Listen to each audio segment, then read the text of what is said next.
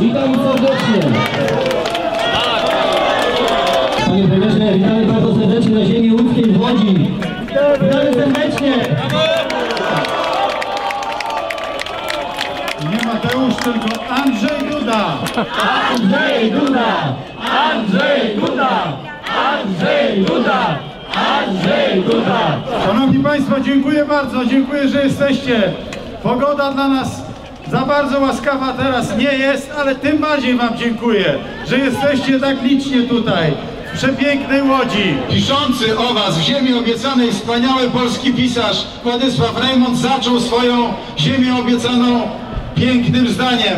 Łódź się budziła i Łódź musi się obudzić dzisiaj, bo drodzy Państwo, drodzy rodacy, drodzy łodzianie, te zdobycze społeczne, które udało nam się osiągnąć wraz z panem prezydentem Andrzejem Dudą, one nie muszą być utrzymane.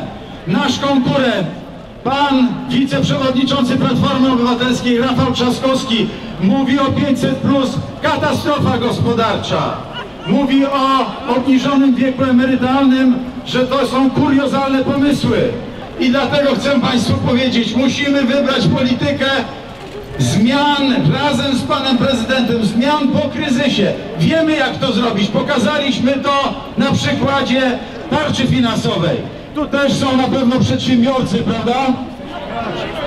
Drodzy Państwo, ilu z Was otrzymało pomoc tarczy finansowej? Tu w Łodzi i do województwa łódzkiego już przyszło ponad 5 miliardów złotych. To więcej niż budżet miasta Łodzi.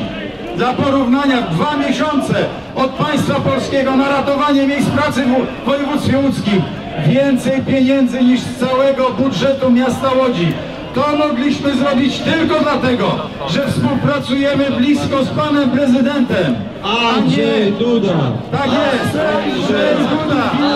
Platforma Obywatelska. Dlaczego? Bo oni byli głusi na wezwania pracowników, a my przygotowaliśmy tarczę w 12 dni. Najszybciej w Europie. Dzisiaj jesteśmy chwaleni przez Komisję Europejską, instytucje międzynarodowe, że uratowaliśmy 5 milionów miejsc pracy. Także tu w Łodzi. Także tu w Łodzi. Dziękujemy! Tak,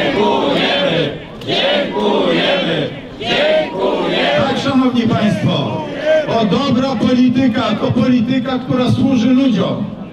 Dla nas polityka międzynarodowa czy krajowa to polityka, która musi służyć ludziom. I my chcemy kontynuować taką politykę.